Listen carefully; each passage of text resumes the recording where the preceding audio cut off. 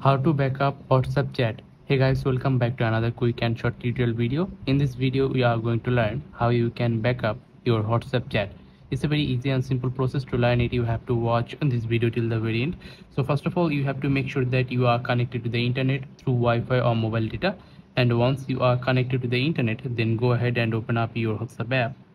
And then tap on these three dots at the upper right side.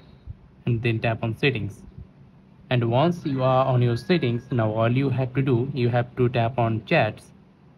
And then scroll down a little bit and here you get chat backup. So tap on it. And now here you'll get backup using cellular. If you wanna backup your whatsapp chat by using your mobile data then enable this toggle. And then you will get include videos enable this toggle. And now at the top you will get google account. So tap on here. And now select the Google account in which account you wanna backup your WhatsApp chat. And now scroll down all the way to the bottom and here get allow. So tap on allow. And now tap on frequency. And then here you'll get bunch of options. So choose the option that you like. Here you'll get daily weekly and monthly. So i'm gonna select daily and now here at the top you will get a backup button. So now all you have to do you have to press on this backup button here. So tap on here.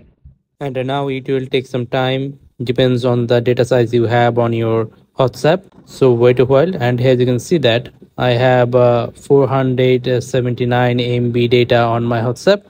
So the moral of the story is uh, the larger data you have on your whatsapp the longer time it will take and as you can see that my whatsapp chat has been backup now i would like to uninstall my whatsapp from my mobile and then reinstall it to backup my whatsapp chat.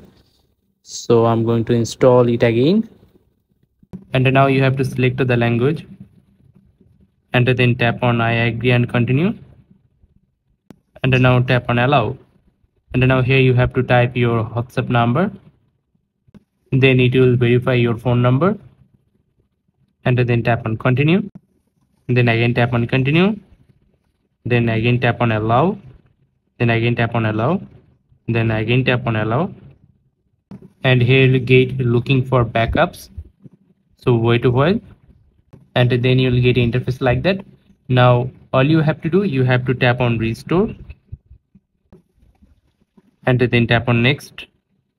And then here type your name then tap on next and then tap on skip.